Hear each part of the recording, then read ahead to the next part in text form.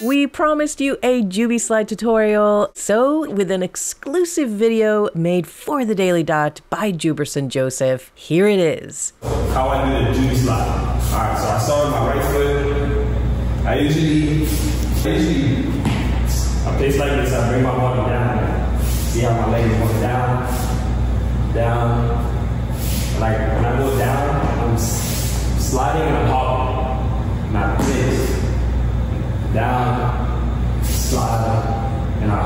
same time. This, down, slide, hop at the same time. The thing that's confusing people is how I travel. Alright, so the way I travel, think of it like you're doing dashes with your feet.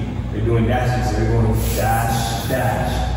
That's all you have to think about. Dash, dash. That's all you have to think about. So you think of it like you're floating, like you're sliding around. So you go dash, dash,